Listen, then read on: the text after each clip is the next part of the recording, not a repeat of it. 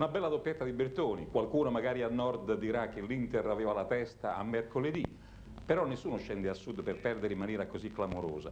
Partita iniziata con un minuto di raccoglimento, si ricordava Giovanni Lambiase, l'allenatore dei giovani del Napoli è morto questa settimana.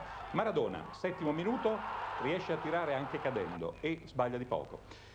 Diciassettesimo minuto, Bertoni su punizione, manda il Napoli in vantaggio. Un primo tempo ravvivato soprattutto da questo gol e da quest'altro. Come vedete, su un errore della difesa del Napoli, che troppo si fida, Baresi mette a segno il pareggio. Diciassettesimo, trentanovesimo. Secondo tempo, Maradona, diventa grande Maradona.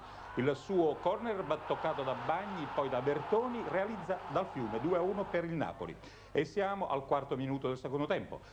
L'Inter prova questo pareggio con Rumenigge, molto ben guardato da Bruscolotti, poi riprova con Cucchi che mette a segno la palla ma era chiaramente in fuorigioco.